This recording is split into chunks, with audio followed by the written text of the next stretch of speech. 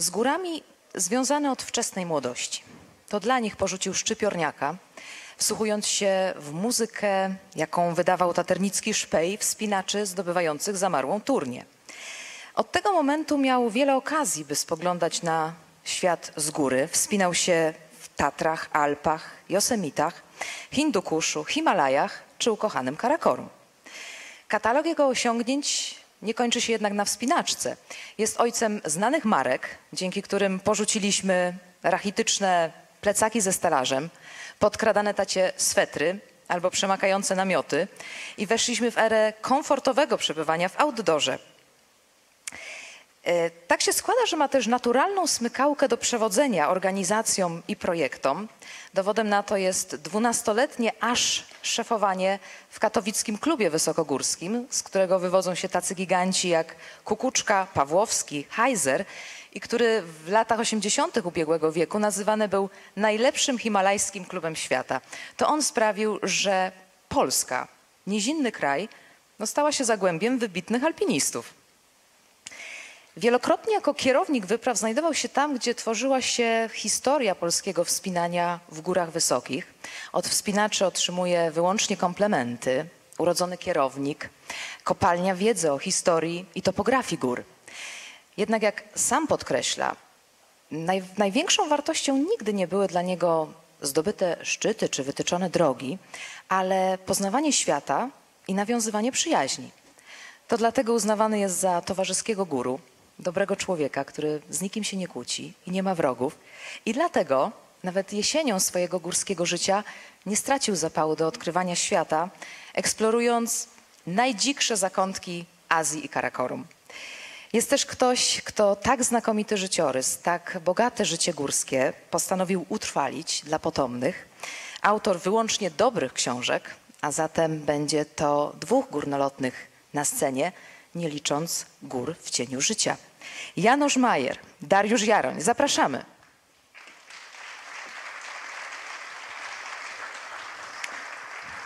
Zapraszamy. Proszę się rozgościć. Proszę Państwa, ja to mam szczęście w towarzystwie takich gigantów. Bardzo się cieszę, bo tak się składa, że my na to spotkanie już trochę, trochę wody upłynęło. Musieliśmy naprawdę poczekać, bo planowaliśmy to spotkanie na ubiegły festiwal górnolotnych, no ale z jakichś powodów się nie udało.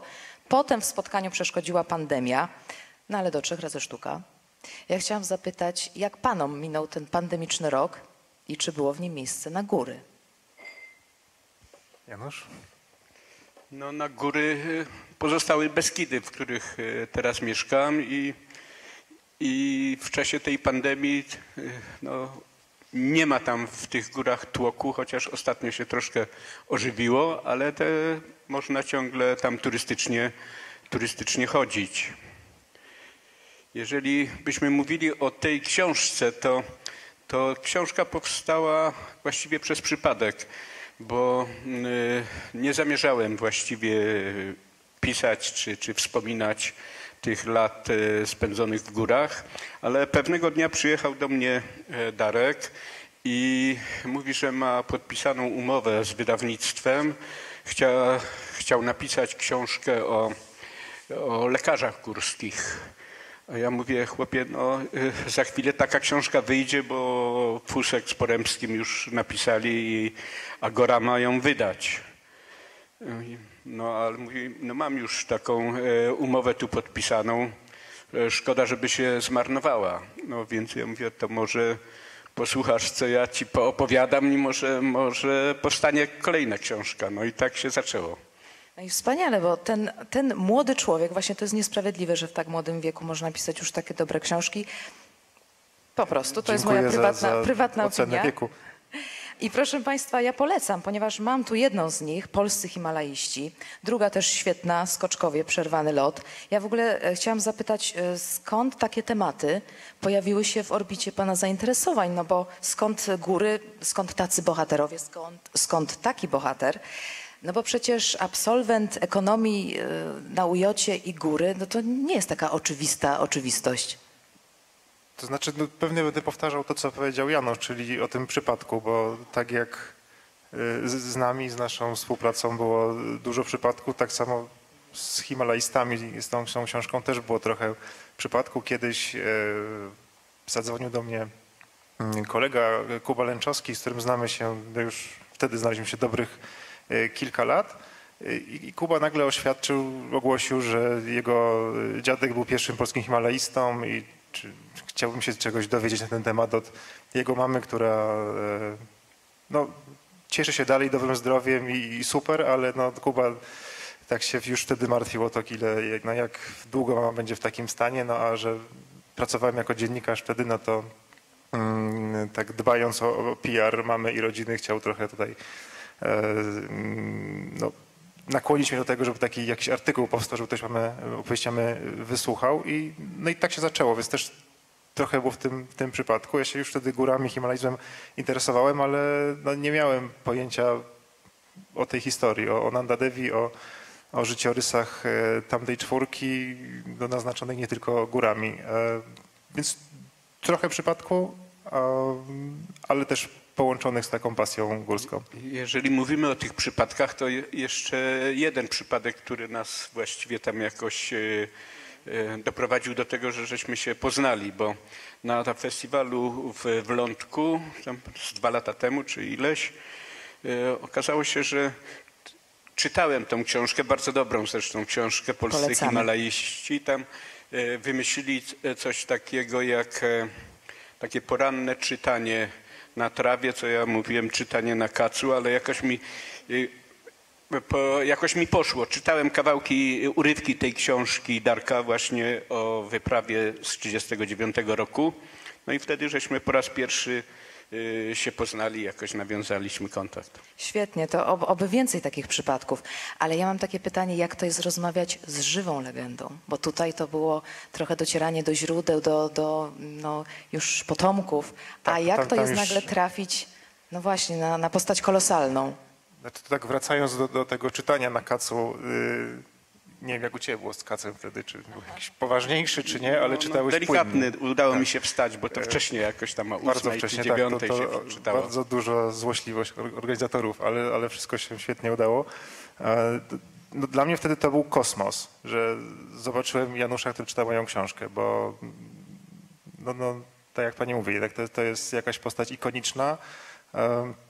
Co innego jest napisać książkę i mieć jakąś taką świadomość, że poza rodziną ktoś to przeczyta, a co innego zobaczyć no, Janusza Majera, który trzyma książkę na kolanach i ją jeszcze czyta publicznie, więc to, to, to faktycznie było taka, takie super uczucie. Czyli próbował się pan jakoś odkupić, tak? Yy, Nie, bardzo długo tak podchodziłem, nie wiedziałem jak, jak, się, jak się mam zachować. No, gdzieś tam podszedłem, podziękowałem coś jeszcze, ale potem tak długo jeszcze krążyłem wokół Janusza, żeby yy, do niego zadzwonić, pojechać, właśnie zbierać yy, troszkę materiał, trochę też szukać kontaktów do tych lekarzy himalajskich, jeszcze nie wiedząc, że taka książka za moment się ukaże.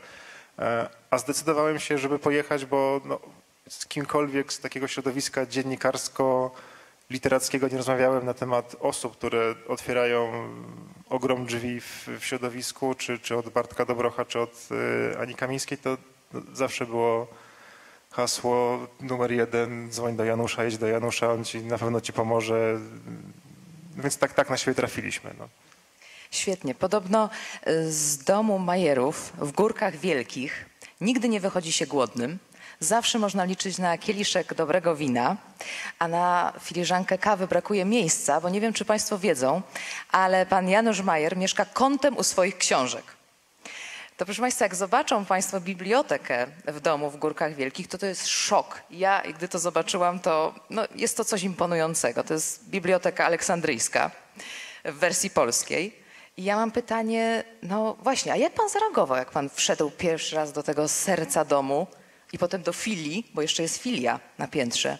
Jakie to robi wrażenie na żywo? To, to jest niezwykła rzecz, że wszystko, o czym Janusz opowiada, to jest poparte, i zdjęciami, i mapami, i źródłami. No, nie no, piękna sprawa, dla, czy dla archiwisty, czy dla dziennikarza. To jest, to jest bardzo dobre, bo no, no każde zdanie od razu ma potwierdzenie, ma, mm, no tak jak przeglądając zdjęcia, teraz właśnie zaczynam tam magicznym długopisem odpalać, I jeszcze nie, zdjęcia. jeszcze nie w ubraniach alpinusa. Jeszcze nie, jeszcze daleko, to, no to może też od- oddamy głos To, Januszowi. to, to były z moim młodszym bratem. Mieliśmy rodzeństwo czwórka, dwie siostry i ten młodszy brat i to e, na Śnieżce takie zdjęcie kiedyś ojciec nam zrobił. Ja e, nigdy rodzice nie zaprowadzili mnie w Tatry, ale dużo chodziliśmy turystycznie po Beskidach, no i między innymi w Karkonoszach raz żeśmy byli. Wracając jeszcze do, do biblioteki, jak długo gromadził pan tak wspaniały księgozbiór? No i jak on jest liczny, bo wygląda imponująco. No, y, książki zawsze zbierałem, te górskie też. W tych czasach, w których y, trudno było o coś y, dostać y, w Polsce, no to jak wyjeżdżałem już później na wschód, to świetnie zaopatrzone te antykwariaty czy księgarnie w Katmandu czy w Delhi. Póź, później systematycznie zacząłem ale to właściwie już po tym, po, po całej podróży do, do Tybetu, wtedy zacząłem się interesować y, tą historią zdobywania gór Wysokiej Azji. I wtedy systematycznie zacząłem zbierać te książki, pisać po antykwariatach, czy to w Stanach, czy w, w Anglii.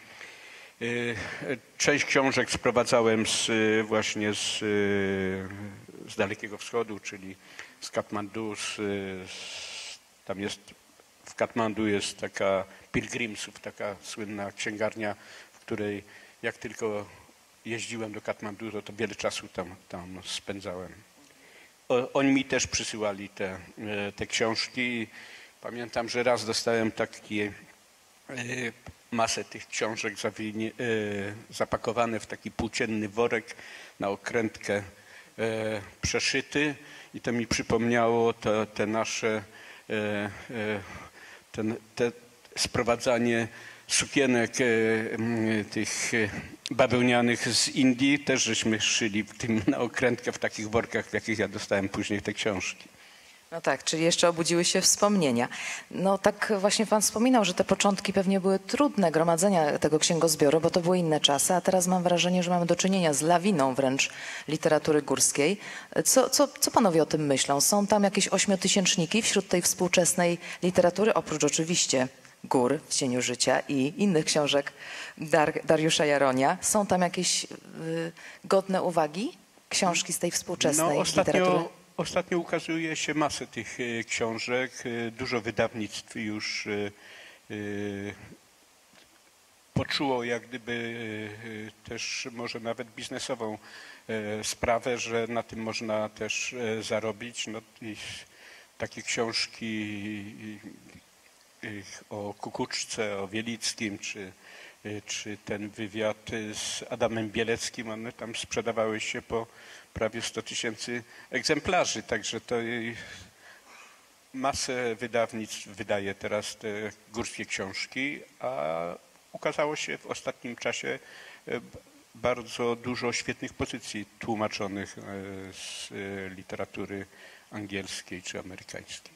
Czyli mamy czytać po prostu, bez jakichś kompleksów, bez obaw. Powinniśmy czytać.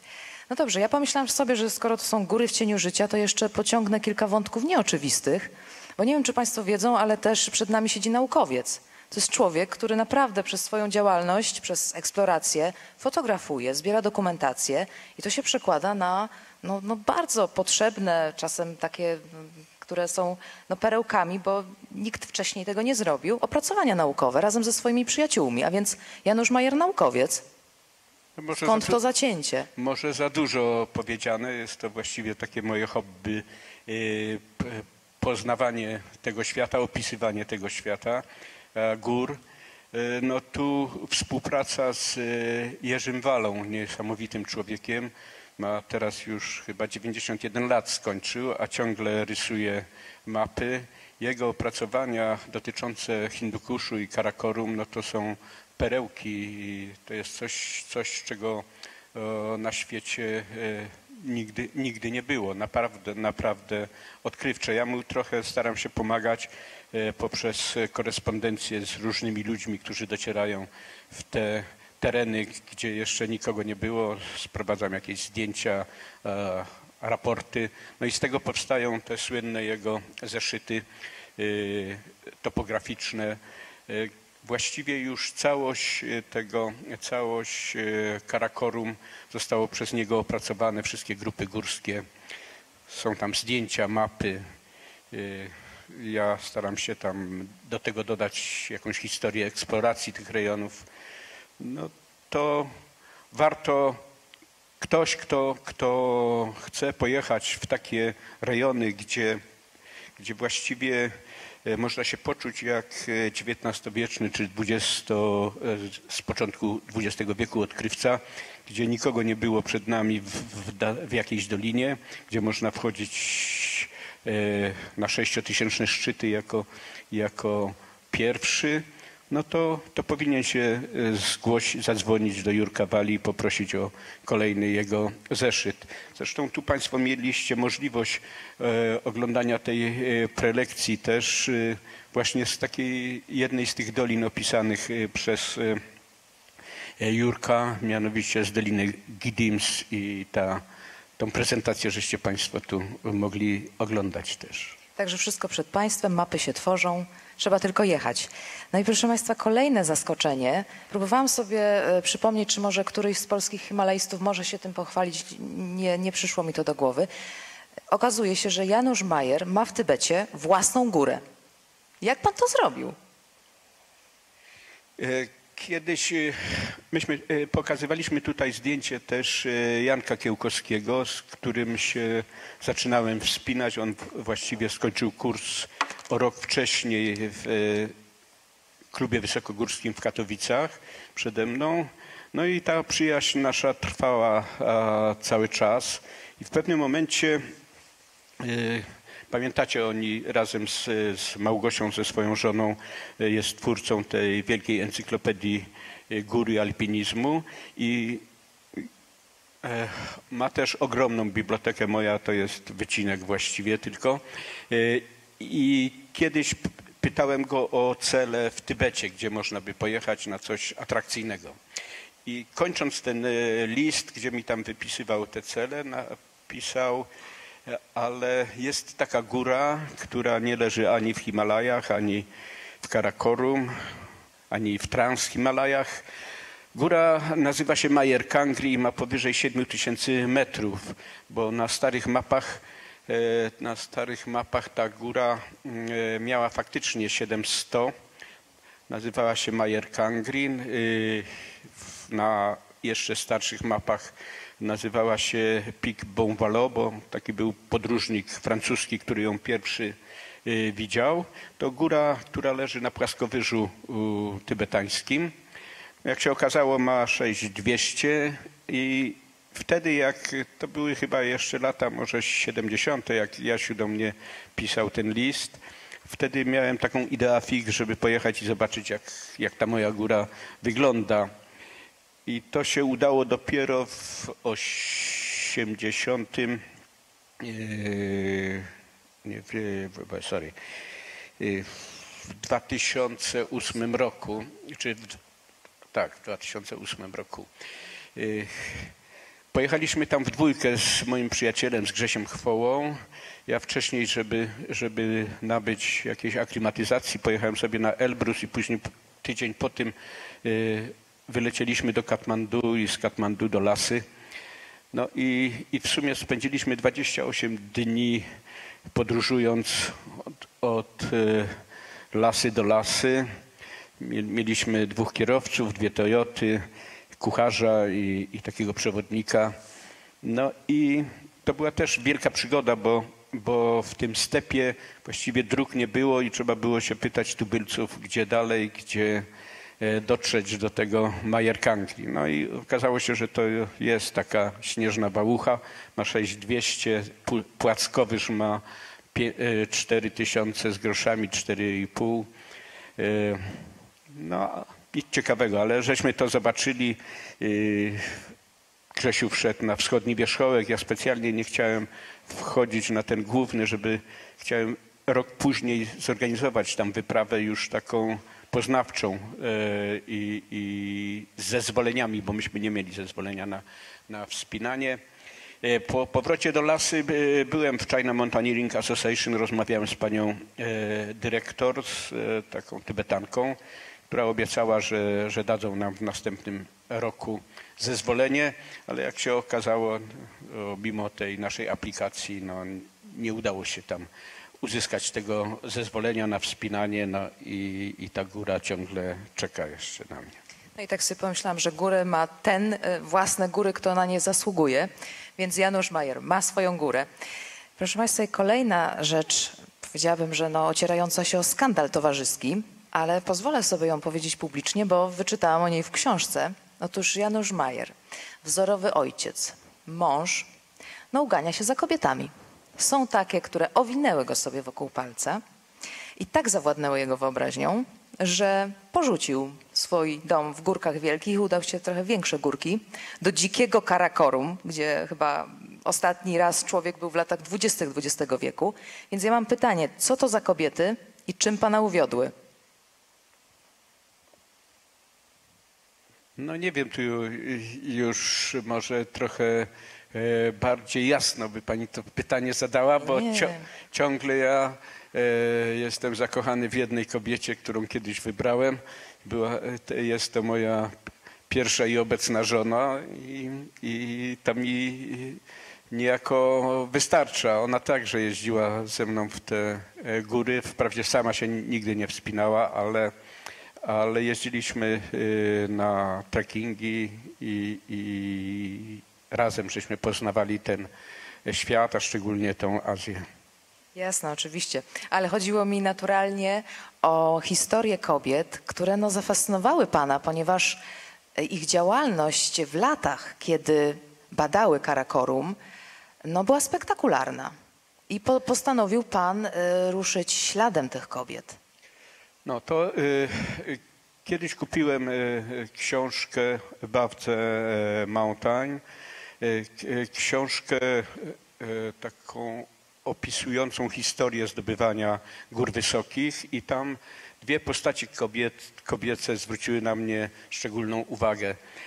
Była to Fanny Ballock Workman i, i, a kolejną e, kobietą to była e, e, pani Wizer, żona e, naukowca e, holenderskiego. I te podróże, które odbyły obie panie, no, strasznie mnie zainspirowały i pomyślałem sobie kiedyś, że śladami tych e, pań e, kiedyś podążę.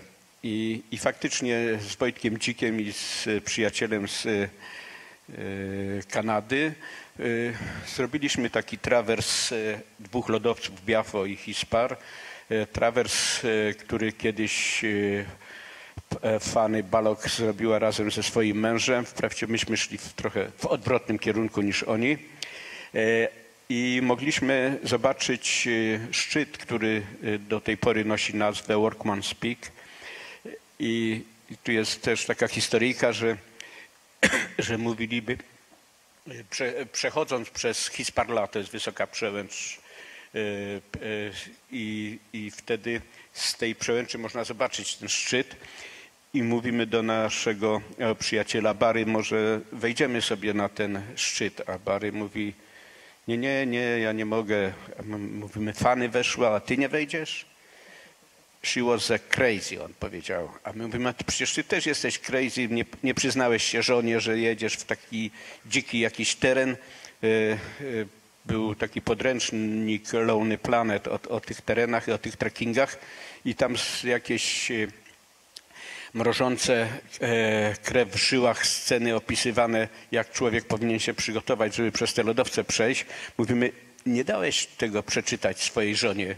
Też jesteś crazy, ale on powiedział nie tak mocno jak Fanny. A więc jednak za tymi kobietami warto było ruszyć, żeby, żeby dotrzeć do tej dzikiej krainy. A rzeczywiście te wyprawy z żoną są naprawdę cudowne, bo to są takie epickie wyprawy. No na przykład ta podróż od Indii aż po Singapur, no to coś, coś pięknego. Nie wiem, e, jeszcze w dodatku w takich czasach, gdy byliśmy za żelazną kurtyną, że no, no to było coś pięknego, egzotycznego. To, by, to był czas e, przed, e, tuż przed stanem wojennym. To właściwie był ten czas e, solidarności tego wielkiego festiwalu w Polsce i, i myśmy, nie musiałem już wtedy mieć pieczątki w dowodzie, że gdzieś pracuję, więc e, robiąc te roboty wysokościowe e, mogliśmy zarobić sobie na ten wyjazd. Pojechaliśmy z przyjaciółmi, z naszym synem, który miał wtedy 14 lat. I byliśmy w Indiach, na Sri Lance, byliśmy w Tajlandii, w Malezji, w, w Singapurze, w Nepalu i, i byliśmy także w bazie Potanapurną wtedy. No także to był cztery miesiące, żeśmy się włóczyli po tej Azji i, i wróciliśmy na tydzień przed stanem wojennym i żona chyba do tej pory nie może mi tego zapomnieć. To ja tylko dodam, że teraz właśnie mamy kilka zdjęć z tego wyjazdu. No to świetnie, to przy okazji możemy sobie to zwizualizować, jak piękna to była podróż. Mnie się też bardzo podobało to, jak Państwo w erze, kiedy nie było telefonii komórkowej, potrafiliście się umówić w konkretnym miejscu i, i się tam spotkać, na przykład w Wenecji. To było cudowne. Jak się to udawało, że... No, tak jak... To jest też fajna historia, bo e, ja wtedy byłem e, e, pod, pod Mont Blanciem, to znaczy tam od strony Courmayeur w Dolinie Aosty, a żona była z synem e, na takim wyjeździe klubowym w ówczesnej Jugosławii, czyli tam w Słowenii. Ale umówiliśmy się, że te, takiego i takiego dnia spotkamy się o godzinie 12 na placu San Marco w Wenecji. Ja wróciłem z tego, e, z tego wspinania, e, a żona e, autostopem przyjechała z synem, no i o 12 w południe spotkaliśmy się na placu San Marco. Potem żeśmy jeszcze z, podróżowali też autostopem do Florencji, zwiedzaliśmy Florencję. Mieszkaliśmy, mieszkaliśmy na, to znaczy spaliśmy na, e, na, na polu, wtedy się spało pod dworcem w Mestre. E, masę takich ludzi jak my w śpiworach sobie leżało. Rano przychodziła policja, kopała po nogach i kazali nam wstawać, bo podróżni musieli dojść do, do pociągu. I później raz patrzę, a budzi mnie jakiś okrzyk. O, patrz, bambino! A to mój syn spał w mojej kurce puchowej. E, w rękawach miał nogi i tak żeśmy tam spali. No, to były czasy, że no, nie stać nas było nawet na, na kemping, czy na, nie mówiąc o hotelach, czy o czymś, no ale wspomina się to po latach dosyć dobrze. Cudownie i myślę, że to chyba już nie są czasy do powtórzenia, także tym bardziej my możemy poczuć przynajmniej e, smak, jak, jak, jak te podróże właśnie wyglądały. No dobrze, ale no nie ukrywajmy, może to były rzeczy takie nieoczywiste, ale leitmotywem tej książki są oczywiście góry. Każda historia ma swój początek. Co prawda z okładki spogląda na nas charyzmatyczny brodacz, ale już wiemy, że ta historia zaczęła się wcześniej. Widzieliśmy tutaj e, pana Janusza Majera z bratem na szczycie Śnieżki, a e, są tuż jest tutaj takie zdjęcie, gdzie grupa młodych e, ludzi wpatruje się w takich zahipnotyzowanych w ścianę zamarłej turni. I to był ten punkt zwrotny. Tak, ja, ja wtedy y, grałem w piłkę ręczną. To był taki y, szkolny klub y, sportowy, czy międzyszkolny klub sportowy. Byliśmy na e, obozie w Zakopanem i między innymi poszliśmy na wycieczkę do Doliny Pięciu Stawów i potem przez e, Kozią Przełęcz e, przeszliśmy do mm, do Murowańca, ale wcześniej właśnie odpoczywaliśmy pod, e, w Pustej Dolince pod Zamarłą i wtedy po raz pierwszy widziałem taterników wspinających się i wtedy pomyślałem, że, że też chcę to robić. I jak skończyłem 17 e, e, lat chyba, to wtedy musiałem mieć jeszcze zgodę rodziców, ale zapisałem się na kurs wspinaczkowy, y, skałkowy w klubie wysokogórskim w Katowicach, czy wtedy w kole katowickim klubu wysokogórskiego. No i tak to się zaczęło. I, I, moją pierwszą drogą w Tatrach to była właśnie droga lewych wrześniaków na zamarłej turni. No proszę, czyli historia zatoczyła koło, zaczęło się od obserwacji, a potem od wspinaczki. Ale tutaj zwrócę się do e, pana Dariusza, bo wiemy, że pan także siebie określa mianem fanatyka Tatr. No więc ja chciałam zapytać, jak się zaczęło to wyznawanie tej, tej górskiej religii w Pana życiu? Fanatyk teoretyk, tak, na, na tle dokonań taternickich Janusza i wielu z Państwa. To jest tak zwana skromność. Nie, nie, znaczy to, fanatyk owszem, ale taki turysta, no, czyli z plecakiem wstać wcześnie rano i, i, i się mocno zmęczyć, natomiast wspinaczki próbowałem parę razy i jeszcze muszę popróbować. To jeszcze kawał Ale, drogi. ale to też sprawia przyjemność. Ogromną, ogromną, też. szczególnie taki reset, wyjechać w góry i, i no, odciąć się od wszystkiego, co zostaje trochę niżej i zostać sam ze sobą. Myślę, że to jest recepta też nawet na, na dzisiejsze nasze dolegliwości pandemiczne. Przyznam, że ja bardzo lubię ten fragment właśnie o tej tatrzańskiej, tych tatrzańskich początkach, bo on się wydaje taki beztroski. Poza tym, no można wtedy było długo pod tymi Tatrami być. Jak pan, jak pan to wspomina?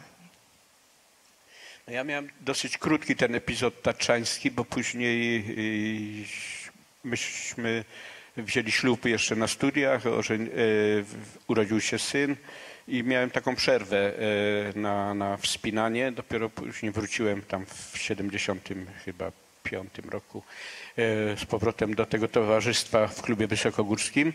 E, Natomiast e, pamiętam ten jeden taki świetny sezon, gdzie właściwie chyba z trzy miesiące pe, pod, na taborisku w Morskim Oku spędziłem. Wspinaliśmy się wtedy z taką wielką postacią dla mnie wtedy, e, Robertem Niklasem.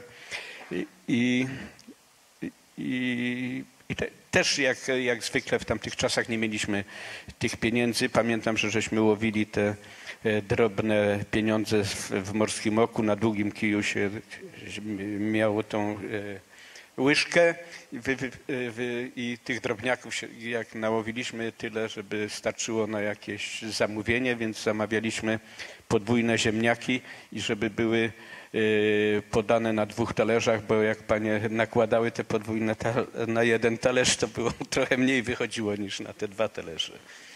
No proszę bardzo. Janusz Majer korzystał z bankomatu jeszcze przed erą w ogóle bankomatów, także co to znaczy spryt i, i kreatywność? No dobrze, ale później te górskie wyzwania miały coraz więcej metrów nad poziomem morza. Pojawiły się Alpy, pojawiły się Josemity i Himalaje, Karakorum. Gdyby, gdyby pan miał właśnie tak zrobić taką retrospektywę, to która z tych wypraw e, dla pana jest takim najciekawszym osiągnięciem sportowym? Ja wiem, że nie po to pan chodził w góry, ale jednak co by to było? Czy to byłby szczyt Broad Peaku, czy może właśnie ten Am- American Dream w Yosemitach, a może jeszcze coś innego? No, dla mnie te wszystkie wyjazdy by, były właściwie e, czymś bardzo ważnym i, i trudno mi jakby wybrać ten najważniejszy, ten, który, e, w którym e, można powiedzieć, że był jakiś sukces sportowy. No bo nigdy takiego, tak, takiej potrzeby jak gdyby nie, nie miałem. Właśnie dla mnie to, to odkrywanie czegoś nowego i jednocześnie e, poznawanie tych przyjaciół, ludzi. Te, te przyjaźnie, przecież myśmy jeździli w latach 80., a te przyjaźnie trwają do dzisiaj. Czy to Krzysiu Wielicki, czy Rysiek Pawłowski, który tu był wczoraj. No, spędziliśmy masę czasu razem w tych górach i, i to nam nie zaszkodziło. Nie, nie, nie, te przebywanie w trudnych warunkach, w ekstremalnych warunkach czasem e, nie spowodowało tego, że, że te przyjaźnie przestały trwać. To, to dalej, e, dalej dobrze, dobrze funkcjonuje. No. Jeżeli mówimy o takich znaczących jak gdyby wy- wyprawach, to wydaje mi się, że jednak ta Magic Line, e, wyprawa, którą kierowałem na, na K2 e, w 86 roku, mimo, mimo tych e, wielkich tragedii, które wtedy się też tam wydarzyły i dotknęły również e, i naszą wyprawę, to, to jednak to było osiągnięcie dużej klasy i Przypomnę, że wtedy w tym 86 roku Wanda e, jako pierwsza kobieta weszła na K2.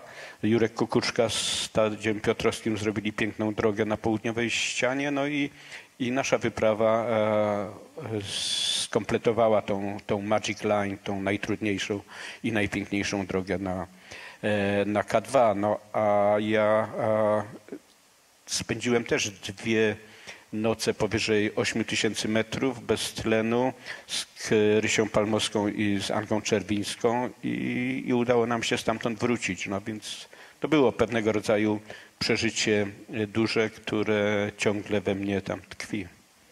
A czy jest jakaś e, wyprawa, która może właśnie nie miała aż takich spektakularnych sukcesów, ale jak pan siedzi w swojej bibliotece, przegląda mapy, zdjęcia, pocztówki, to jakoś tak automatycznie się pan uśmiecha, bo ma pan wielki do niej sentyment. Y, No nawet y, te, można powiedzieć, trekkingi, już nie wyprawy, to co żeśmy w 2011-2012 z Krzysiem Wielickim i przyjaciółmi pojechaliśmy właśnie w te nieodkryte e, jeszcze doliny w północnym Karakorum y, w niedużej grupie, e, świetnie się razem e, rozumiejąc i czując, no to to jest coś, coś fajnego i ciągle jeszcze myślę, że jak tylko ta pandemia e, da nam spokój, no to znowuż pojadę w północne Karakorum. No tak, właśnie, a za co pan to Karakorum tak bardzo kocha? Bo to jest taki... No, to jest też pewnego rodzaju dziwaczna sprawa, może nawet magia. Ja to e, opowiadałem Darkowi, że gdy jeszcze w ogóle e, wtedy jak wspinałem się jeszcze w Tatrach, chyba to w latach jeszcze 70., e, miałem taką mapę e, Karakorum ozalitową, wydaną wtedy przez e, Jurka Wale, czy, czy jako klub wysokogórski e, w Krakowie. I, I na tej mapie zaznaczyłem sobie takim czerwonym długopisem te kółka, szczyty, które są powyżej 7000 metrów i, i kółko, które było wypełnione, to znaczy, że szczyt był zdobyty, a te, e, gdzie tylko był obwód, to były szczyty, które ciągle były jeszcze niezdobyte. I część tych szczytów jeszcze ciągle jest niezdobytych. I, i tak e, wtedy teoretycznie e, pracując tą mapą, przyglądając się i traktując ją nieomalże jak jakąś ikonę, no i jakoś wtedy w to Karakorum, e, to Karakorum zacząłem poznawać. No a później już jeździłem w to Karakorum też e, wiele razy i, i to są no, fajne góry, świetne.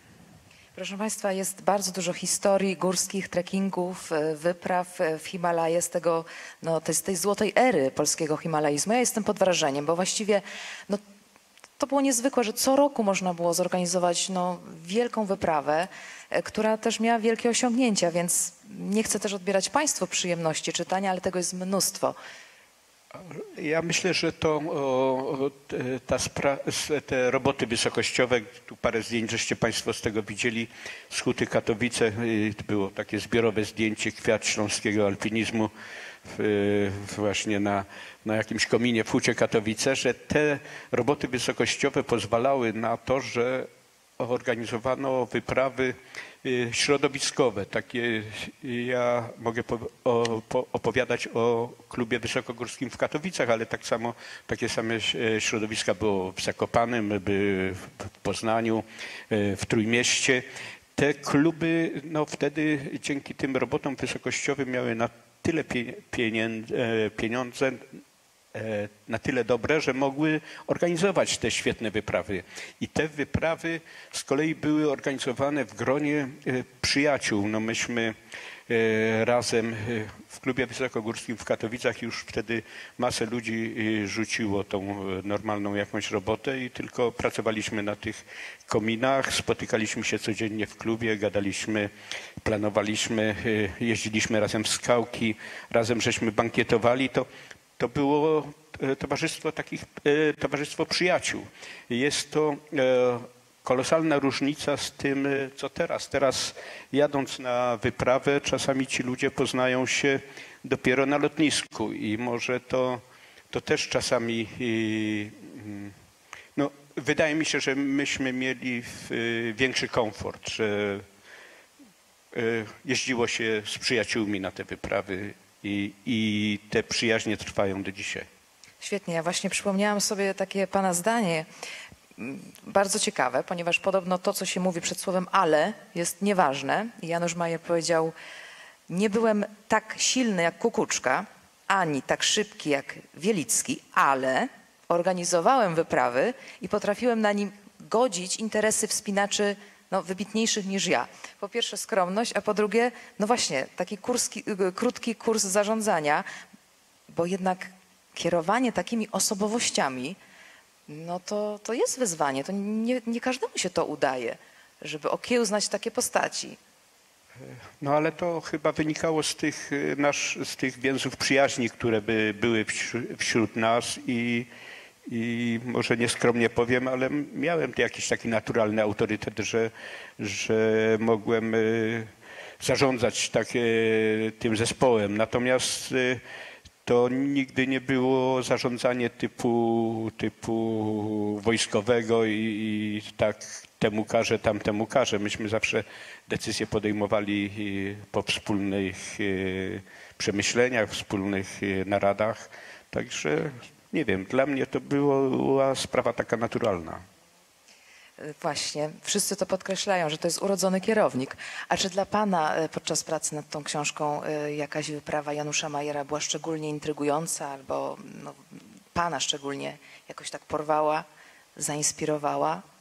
Znaczy myślę, że te wyprawy rodzinne to jest coś, e, to takie pogodzenie e, części sportowej, eksploracyjnej, później jeszcze z, z tym, żeby właśnie bez internetu, bez komórek, bez e, i środków transportu tak łatwych, dostępnych jak jeszcze niedawno, czy, czy nawet sposobów komunikacji, żeby się umówić w Wenecji w południe, czy w- innych miejscach, żeby to wszystko e, zgrać i nawet mając e, no, prawie puste kieszenie spędzić kilka tygodni świetnie się bawiąc i poznając kawał Europy także, i świata też. Także to pewnie z naszej dzisiejszej perspektywy jest to trudne do wyobrażenia, że tak się da i, i że można. Przynajmniej można było wtedy, a pewnie dzisiaj też, może trochę innej skali. Czyli rozumiem, że Pan to przećwiczy i nam powie, czy można, tak? Tak, na pewno. To dobrze, trzymamy za słowo. Następnym razem, jak się tu spotkamy, zapytamy. No dobrze. E, A porozmawiajmy teraz o ludziach, bo Pan wspominał o tym fenomenie socjologicznym, którym był ten katowicki e, klub wysokogórski. E, My tutaj mieliśmy okazję wczoraj wysłuchać Ryszarda Pawłowskiego.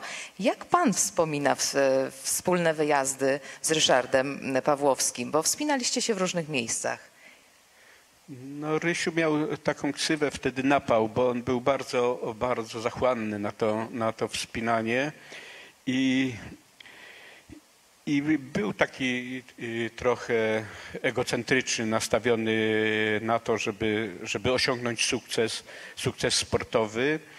E, e, i niektórzy ludzie nie chcieli jak gdyby z nim jeździć. Ja go na te wyprawy e, zabierałem i, i ja podziwiałem zawsze u niego właśnie tą, tą tak, taki ciąg do tego wspinania i to, jak on się naturalnie w tych górach zachowywał. No oczywiście ja się tak dobrze nie wspinałem jak on, ale, ale ws- e, robiliśmy, e, w- czy to w, w Josemitach razem, żeśmy się wspinali, czy, coś, e, czy w innych górach, czy w skałkach, ale on nigdy mi nie, e, nie, nie usiłował przekazać e, czegoś takiego, że on jest lepszy, że jest wyższy, e, lepiej się wspina niż ja. Wiedział, że ja na pierwszego ta, te, tak, takiej drogi, którą on przejdzie, nie przejdę, a na drugiego jakoś sobie tam dawałem radę i, i cieszyło nas to, to wspólne też przebywanie. No, ja z nim e, w tych Josemitach żeśmy spędzili ponad półtora miesiąca, w ostatnie tam dwa czy trzy tygodnie już tylko w dwójkę i, i ciągle nas to, i ciągle nas to bawiło. No, teraz, e, teraz na tym Camp 4, na którym żeśmy wtedy mieszkali, to można chyba tydzień mieszkać, czy ileś. Myśmy wtedy można było miesiąc, ale myśmy jakoś tam e, obłaska, mieli Państwo fory. o, obłaskawili taką e, śliczną e, tą, e, rangerskę, która tam przychodziła i co chwilę wyganiała tych, co, którzy za długo już tam siedzieli na tym kampie. No ale jakoś nas tam nie, nie, nie wyrzuciła. No. No tak, urok osobisty. A wiem też, e, że no właściwie na Pana oczach e, rozpadł się taki najsłynniejszy duet e, polskich himalaistów. Mam na myśli Jerzego Kukuczka i Wojtka Kurtykę. Pan właściwie no, mógł to obserwować. Czy oni rzeczywiście byli jak ogień i woda?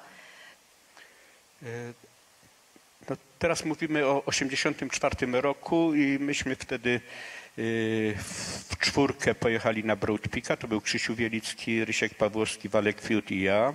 A oprócz tego Wojtek Kurtyka i, Jurek e, też e, mieli zezwolenie na trawers Peaka i na świetlistą ścianę Gasherbruma IV. E, Myśmy mieli zezwolenie na Broad Peak i mieliśmy e, zezwolenie też na Gasherbruma IV na tą e, grań z lewej strony ograniczającą zachodnią ścianę Gasherbruma IV. I no wszystko to jakoś tam trwało. To przypominam, Krzysiu Wielicki wtedy wszedł w 24 godziny od podstawy ściany na wierzchołek i zszedł. Myśmy byli na Broad Peaku w trójkę, a mm, Wojtek z y, Jurkiem zrobili trawers y, trzech wierzchołków Broad Peaku. No i w- y, Krzysiu musiał jechać do domu, bo miał jesienną wyprawę z Wrocławia Kami na, na Manaslu. Wtedy zrobili nową drogę.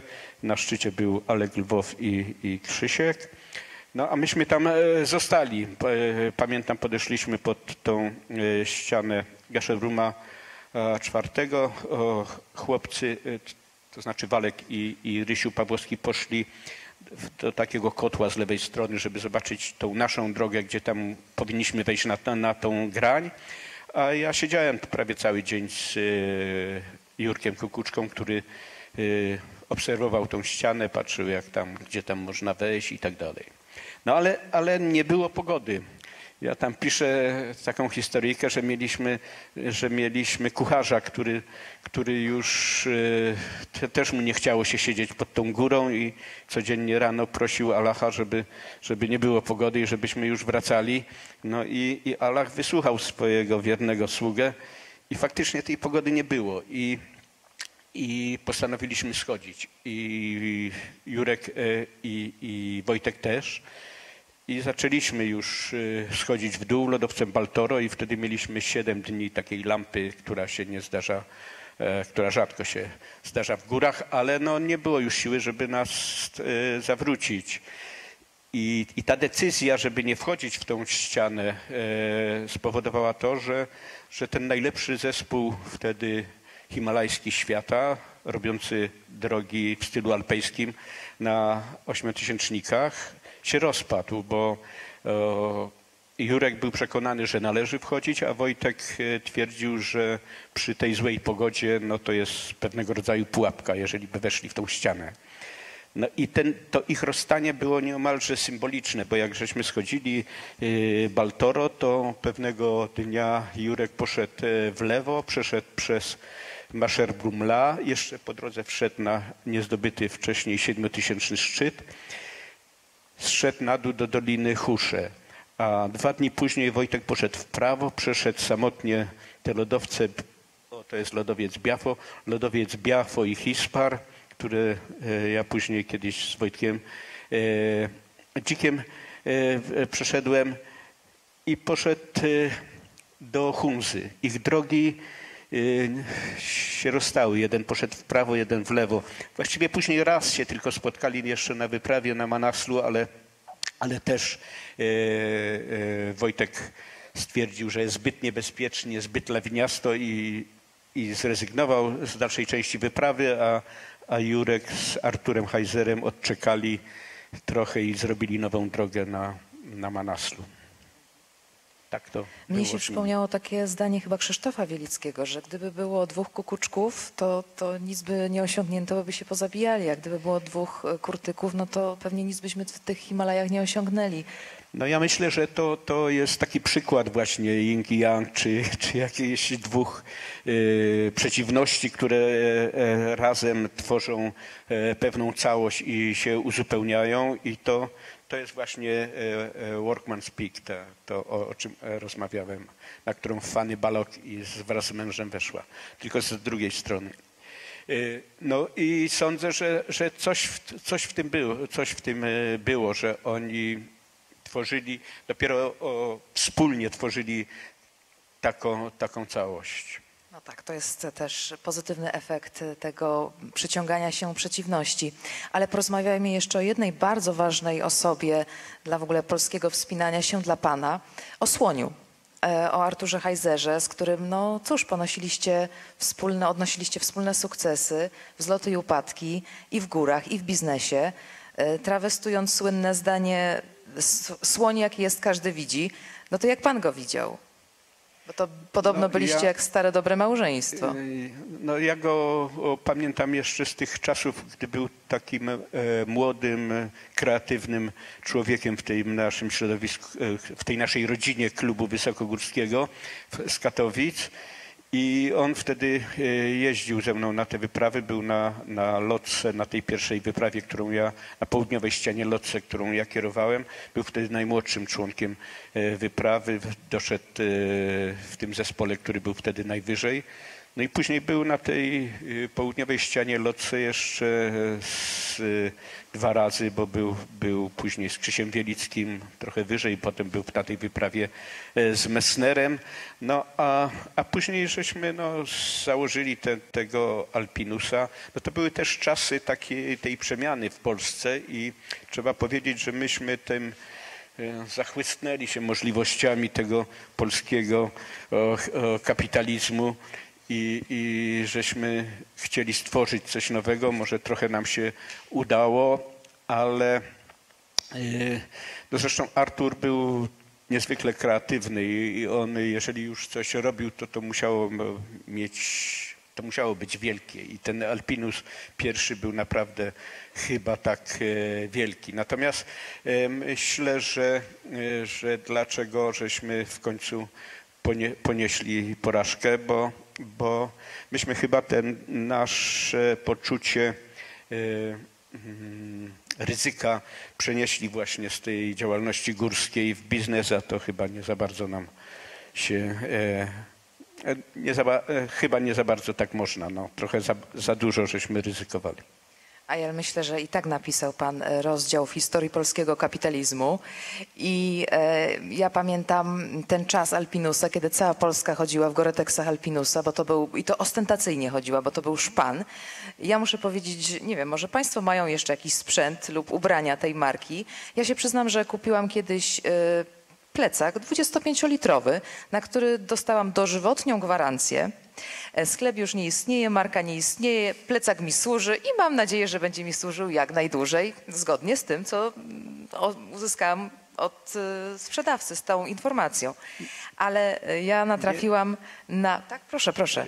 To były no, świetne czasy, ja to o, wspominam, bo, bo pracowaliśmy w takim gronie e, przyjaciół właściwie, bo o, cały, oprócz oczywiście e, tych szwaczek i tego dozoru technicznego, który wtedy żeśmy przejęli e, z bankrutujących tych zakładów e, szwalniczych w Katowicach czy tam w okolicach, to, to wszystko byli ludzie związani z klubem, albo wspinacze, albo jaskiniowcy, albo narciarze. I, I to właściwie, no nie pamiętam, że, że miałem wrażenie, że chodzę do roboty, tylko to było tak jak w country klubie, no jakieś takie, y, wszyscy wiedzieli co robić, no jak to o, dalej prowadzić, no także to, to były no świetne czasy, no ale skończyło się jak się skończyło. E, Ja mam e, takie, natrafiłam na takie bardzo ciekawe wspomnienie e, Marka Raganowicza w swojej książce Zapisany w kręgach o tym, o jego spotkaniu w Warszawie na dworcu centralnym. Pozwolę sobie Państwu przytoczyć słowa Marka Raganowicza. Moją uwagę przykuło dwóch osobników z teczkami. Niby mieli na sobie standardowe garnitury charakteryzujące przyjezdnych interesantów ważnych urzędów lub firm. Jednak w ich ruchach było coś bardziej wyluzowanego, niepasującego do wystrojonych podróżnych. Wyglądali co najmniej tak, jakby oficjalny strój ich uwierał. Szybko stwierdziłem, że z otoczeniem najbardziej kontrastują ich brody. Zacząłem przyglądać się im uważniej i niemal krzyknąłem ze zdziwienia, rozpoznając Janusza Majera i Słonia. Natychmiast zbiegłem ze schodów i stanąłem przed nimi. Uścisnęliśmy się serdecznie, a ja śmiałem się w głos i ciesząc się ze spotkania i dlatego, że bawiły mnie owe brody, które nie miały w sobie nic z rozwichrzenia i nieładu, dominującego na zdjęciach z wypraw czy podczas zebrań klubowych. Teraz były gładkie, przystrzyżone, a może nawet wyszczotkowane. Wyglądali trochę jak Marx i Engels z obrazków, które wisiały w klasie, kiedy chodziłem do podstawówki. Ale pos- nie, nie powiedziałem im tego, bo niemal natychmiast zaczęliśmy rozmawiać o wspinaniu. Także tak wyglądali Janusz Majer i Artur Heiser z czasu, kiedy byli biznesmenami. E, O, o, Marek Reganowicz pracował też e, razem z nami. On e, był I też zawsze... dostał za swoje w tej książce, bo On- jego anturaż też był bardzo Nie, specyficzny. On, on zawsze był solistą e, e, od tego czasu, gdy w ty, w, przyszedł do klubu Wysokórskiego w Katowicach i wtedy wieszał się na kotle kazalnicy i samotnie e, tam tłukł te, te, te drogi.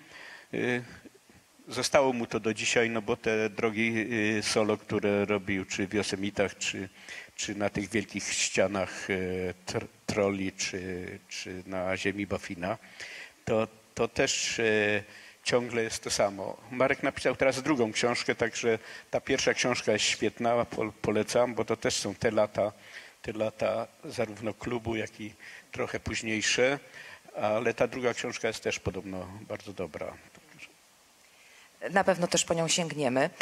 Y, Tych, y, tego pana życia w górach to jest, jest po prostu tego cała moc, dużo, wiele, wiele lat, ponad pół wieku. Co panu dało to górskie życie? Jakie wartości wniosło w pana życie? Gdyby nie góry? No, właściwie moje całe to dojrzałe życie e, było związane z górami i, i, i dały mi te, te przyjaźnie. Cz- Część tych ludzi już nie ma, bo część też zginęła w górach, ale, ale część tych przyjaźni trwa do dzisiaj i to, to chyba jest ta naj, największa wartość. No tu Marek Arcimowicz, który był z nami na Spitsbergenie na, w takim wyjeździe, wyjeździe rodzinnym właściwie, bo, bo było małżeństwo Heiserów, e, Marek i ja. No. E, Marek też tam kiedyś pracował w tym Alpinusie, w tym, czy, czy później, no w Alpinusie tak chyba jeszcze wtedy.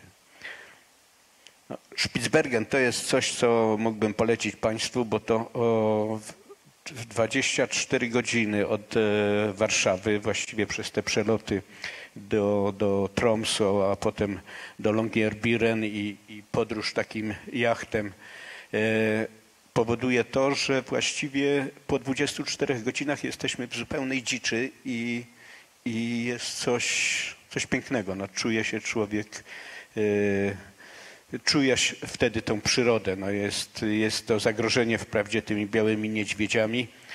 Yy, Opowiem taką historyjkę, która nam się tam, tam zdarzyła. E, e, mianowicie Marek Arcimowicz y, odkrył nagle świeży ślad niedźwiedzia polarnego, i, ale w tym miejscu mieliśmy rozbić sobie biwak, więc żeśmy rozłożyli dwa namioty. Między namiotami mieliśmy taki sztucer, więc Wprowadziliśmy nabój do, do tego. Sztucer leżał między namiotami. Jeszcze mieliśmy rakietnicę do odstraszania. I, i w, w nocy, y, aha, wśród Heiserów było takie nie mów do mnie misiu, e, powiedzonko, a potem e, Iza budzi Artura i mówi, ty coś słyszysz, niedźwiedź? A on mówi, nie, to tylko Janusz chrapie. A więc były emocje. Pomyślałam sobie, że pan osiągnął w swoim życiu takie doskonałe proporcje, ponieważ e, no, jest pan człowiekiem gór, odkrywcą, ale jednocześnie szczęśliwym mężem, ojcem. I to nie jest wcale reguła wśród alpinistów. Ja mam wrażenie, że e, część z nich musi coś na tym ołtarzu złożyć w ofierze. W związku z tym, no, my też chcielibyśmy, tak jak pan, prosimy o radę, jak to się robi. Trzeba dobrze wybrać na początku chyba. Krótkie, ale chyba jasne.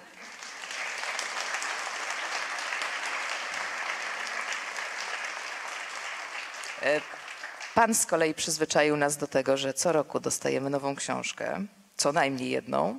To w takim razie Następna pytanie. w toku. No właśnie, chciałam zapytać, co dostaniemy od Pana w 2021?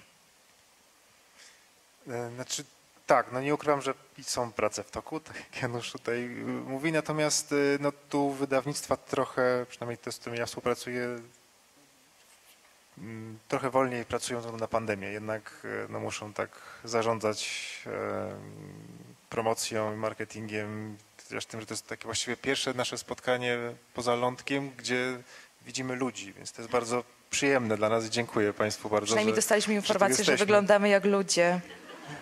Nie, no tak, no mieliśmy w Krakowie jeszcze, jeszcze spotkanie, ale takie, że rozmawialiśmy do kamery, co też było bardzo się takim trochę psychodelicznym doświadczeniem, a dzisiaj to jest wielka, świetna sprawa, tak, że możemy tutaj być, spotkać się e, z ludźmi. A, a, a książka, książka? Tak, książka będzie. Nie, no jest, jest plan taki, że pod koniec roku będzie książka, ale ona no jest w toku, jest przed, y, na razie może ja jestem zadowolony z tego, co robię, ale jeszcze się musi tak samo zachwycić redakcja, korekta, wydawnictwo, to jeszcze bardzo dużo ludzi przede mną musi e, zielone światło dać na to, żeby to było gotowe do, do druku i pokazania ludziom. Będziemy monitorować. Proszę Państwa, czas jest krótki. Jest naprawdę mnóstwo historii, e, które no, Państwo sami zgłębią i ja myślę, że to będzie przeprzyjemny czas i wartościowy czas. E, a myślę o tym, to jakim człowiekiem jest nasz górnolotny, no to chyba też świetnie oddaje okładka tej książki, bo w tym imieniu i w tym nazwisku góry są po prostu zawarte. Bardzo dziękuję za dzisiejsze spotkanie. Janusz Majer, Dziękujemy. który został, pozostał człowiekiem i Dariusz Jaroń, autor wyłącznie dobrych książek. Dziękuję bardzo. Dziękujemy bardzo. Bardzo dziękujemy. Proszę Państwa, ja e, zapraszam też do, e, po książki są dostępne. Mamy nadzieję, że poświęcą nam jeszcze Panowie chwilę czasu, gdybyśmy na przykład chcieli porozmawiać i poprosić o autograf. Zapraszamy na 15-minutową przerwę. E, Przypominam o obowiązku noszenia maseczek i zapraszamy do spotkania z naszymi gośćmi w holu.